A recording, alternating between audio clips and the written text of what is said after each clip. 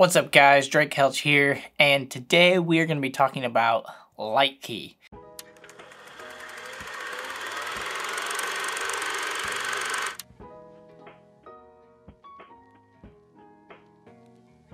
Now, this is not a sponsored video, but I have been seeing Lightkey, which is a lighting software, pop up all over the place. And so I thought I would dig in and give it a shot and see what I think of it. Um, I already think it feels a little uh, like maybe prosumer or consumer, um, small church, small venue. Um, it seems volunteer friendly, but it doesn't seem like it has all the pro tools that uh, a console like MA or Onyx would actually have. It doesn't even seem like it's laid out the same way at all. So um, if you don't know what Lightkey is, have it right here. Um, it's not a free software. Well, okay, there's a free version of it. Um, but if you buy the license, you can get half a universe for $80 a year, and you can get a full universe for $120 a year. Now this is something to note because you still have to buy a dongle like this ENTTEC DMX Pro that I have over here. Um, it's a USB to DMX dongle. You still have to buy that, which is, this one's $250. Some of them are $100. Um, but then you have a yearly fee as well. So it's just something to note. Um, software like Onyx is completely free and you just have to buy the dongle or the console to go with it. So there's no yearly fee. So that's just something to note uh, about this software. But uh, let's dive in and uh, this is going to be me reacting to uh, how the software is. Now I have slightly played with the patching and the connectivity of the ENTTEC because uh, it wasn't working earlier and so I fixed it. Um, a classic reboot your computer fixed it. So that's great. This is a Mac only software, so we're gonna dive right in and I'm gonna show you what I know and then what I think about the rest of it. So uh, let's start a new project here. Like project, sure. Okay, boom. ENTTEC USB Pro device. So it already found my USB device, uh, which is really cool. You can use ArtNet, streaming ACN, um, or in offline mode. So it found my device, I'm gonna go ahead and select my device. So what you see on your screen here is the patch. Now, it's kind of weird that the first thing that pops up is your patch, but I kind of get it at the same time. If you're not used to lighting software at all, you're not gonna really know to go to your patch. So I guess this makes sense, but usually uh, when I open up Onyx or MA, it launches into the window that you can do anything with and you have to go into the menu to go into your patch. But again, if you're not used to that, I guess, guess this makes sense. So has a lot of fixtures in here. We're gonna patch a generic fixture first. Um, the only thing that I don't like about this is that you can't see how many channels of one of these fixtures is, especially the generics, right off the bat. You can in the next step, but not in the first step. So I didn't even know that this power wash was one channel until I tried to patch it. I would like to know that it's one channel or three channels before I try to patch it, or at least give me the information about it. So if we drag and drop it into channel one here, then it shows up that it is starting at one, the account is one, and it's just one channel right here. It shows one channel. So I wish it showed that one channel beforehand, so that way I knew that this was a single channel fixture, if that makes sense. Um, that's user error. So we're gonna patch this one fixture, boom. That's that light over there, which is not on. And then we're gonna patch this, which is a Chauvet fixture. So if we search Chauvet, and then um, this is a Slimpar, boom, right there. So again, this fixture has a three channel mode and a seven channel mode. And so it's kind of, I understand why it's not here, but I wish it was there because I have to drag it in. Cool. Now I can select three or 12 channel, three or seven channel, sorry. So the other bummer that I don't like is you can't like type in wash and then add a number. You have to use like a letter. I want to spell it out with a number, but you can go past four characters. So W1 for wash one, starting at two, count one. I'm actually gonna add four for our demonstration, even though I can only see one. And yes, okay, patch. Okay, we're gonna go next. build your preview. Okay, so as you can see here, I have my par, which is this, and then my wash. So we're gonna actually drag the par over here because that's where it is. We're gonna center these washes up. That looks centered to me. And our par's over here. Okay, next. So this is like what your layout view or your 3D view in Onyx would be, or your layout view in MA would look like. Uh, it wants you to set it first. I get it. Uh, it wants you to move the fixtures around how they would be in your room. Select your fixture groups. Okay, so we're gonna group those together. Um, how do you add this to a group now? Do I click next? By back. Okay. Create groups of fixtures that'll be together. Okay, there's a group.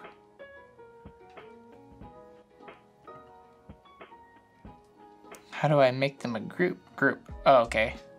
So there's a group of fixtures, and then I can do this as well. And, oh, I can't make an all group. Maybe I can later make an all group. That's interesting. Okay, so I have a wash group. Okay, next. So set the beam. So, oh, okay. Oh, interesting. So let's make the beams go straight forward. Done. And this one, we're gonna set the beams going, oop, that way. Done. Okay, next. Please set the beam color for the fixtures. Uh, set It's because this isn't RGB, I'm guessing it wants me to like make a color. Okay, it's kind of CTO. Next. That's it. Have fun creating light shows with Lightkey. Go. All right, this is as far as I know. I've done that before. Um, so now, Foley have not done anything else in this software. Um, so I can see, how do you move around? You can't move around. Interesting. Okay. I can't center this up. Um, okay, so I can see that my washes are blue, which is why that's blue. And that is not on. Okay, the dimmer is on. Boom, okay, sorry, my dimmer was not set correctly. But now I should have control of this. I do have control of that. Okay, cool. So now I should also have control of these.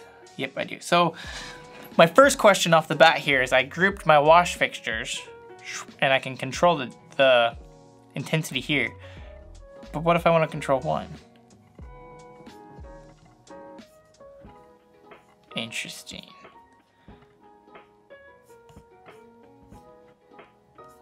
Hmm, okay.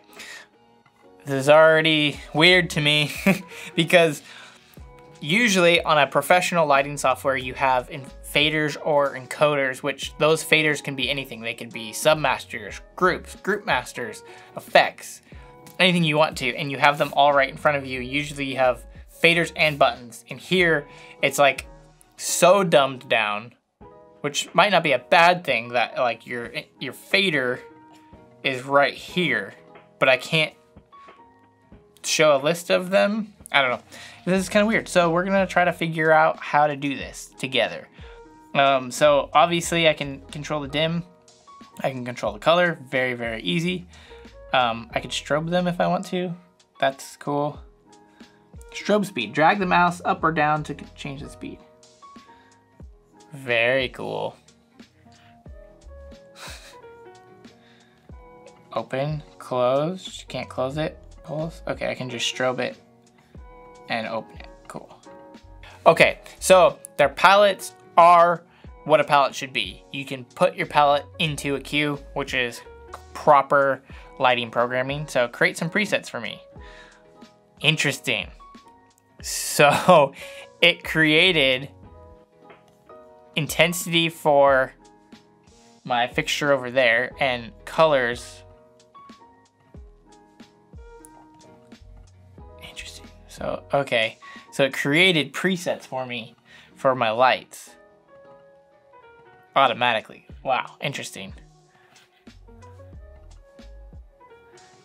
And it is running that only in the fixture programmer. Okay, so this is super interesting because on a real console, you can add a ton of things to your programmer. Um, and then when you record that, that you could record all of that that you just did to a cue or a fader or something.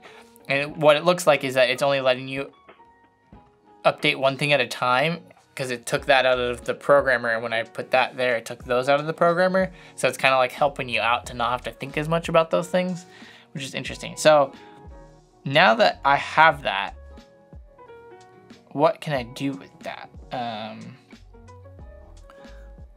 about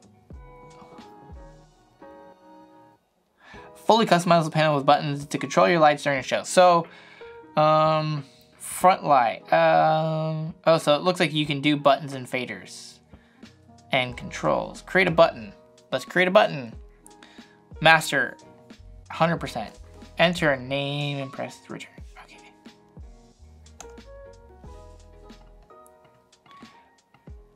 So how do I, okay, master.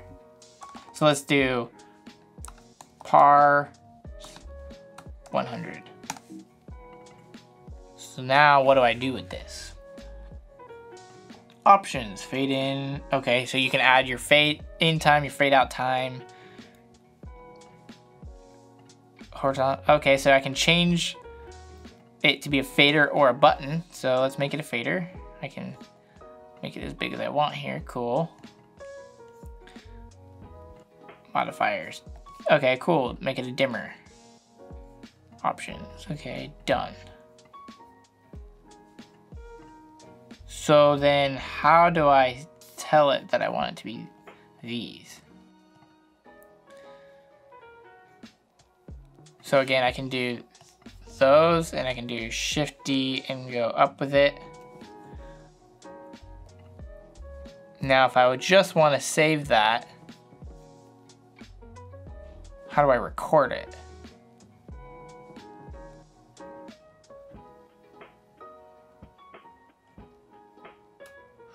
Hmm. So typically on a lighting software, I would take what I just did, which is turn that up and at 100 and I would make that, and I would store that to this fader. Oh. Wait. What is it controlling? It's controlling that, but I don't want it to control that. Oh, I see what I did. So if I select this, wait, new button. Oh. So if I do select these and I do a new button, par 100, or I can do wash 100, let's try that. And I want it to be another fader.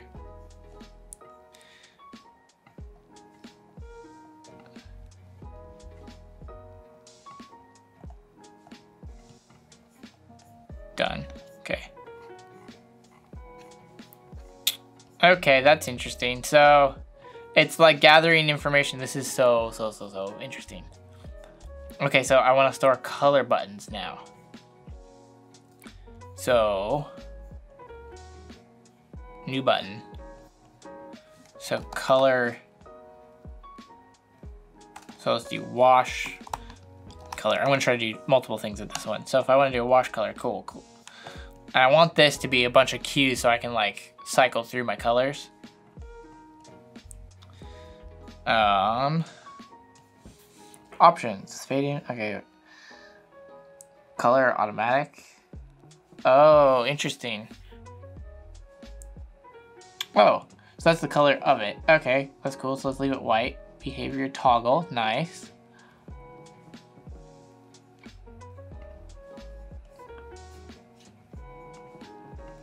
So I want it to do color. So, all right. Now that I'm done with that, so if I do this and I make it that, how do I store that? I'm already frustrated.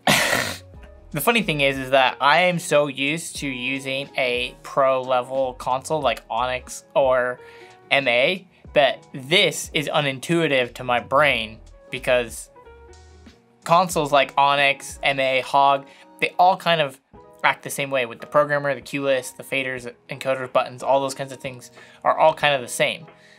This, it's like things aren't there. And that's kind of frustrating to me. But you might not have any experience with any lighting software and you hop on this and it might make sense in your brain because it's how your brain thinks.